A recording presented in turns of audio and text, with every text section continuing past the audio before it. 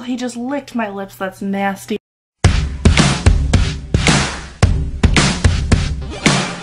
Hi, J-Baes. My name is Jade. I'm the third and most fabulous person in this group of J-Baes. This is Harley. He's my baby, and he's giant and so cute. But today's video is a what's in my purse challenge, and Harley's head doesn't even fit in my purse. So let's get going. So this is my purse that my mom got for me from the States because she's awesome. It actually came with a shorter strap so she went to Fabricland, got leather fabric and made me my own strap because apparently I'm some kind of giant. Who knows? Who knows, right? First things first, on the list is my wallet.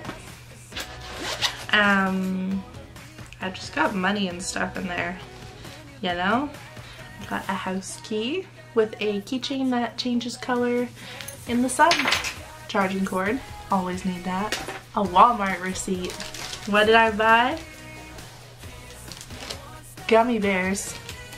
A pair of headphones that I need for the bus. It's so that people don't sit with me. My kid's church name tag.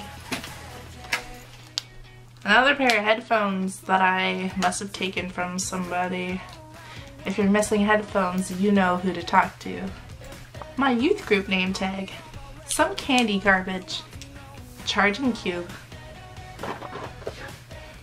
Eye drops. Always need those. A pen.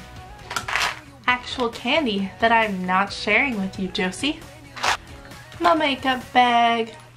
I've got A couple lipsticks in there and a perfume from the body shop. This lip balm is the best one ever because it makes your lips tingle. Another pen. A pen, which I think I stole from my church. A hair elastic that I forgot to give back to this girl in my class. More candy garbage. More candy garbage. More candy garbage.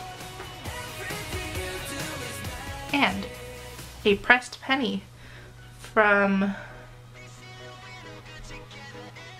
Moe's Clam Chowder in Seattle. Exciting stuff. So, that's everything in my bag. It's pretty empty except for, you know, some crumbs and stuff. But who doesn't have crumbs in their bag?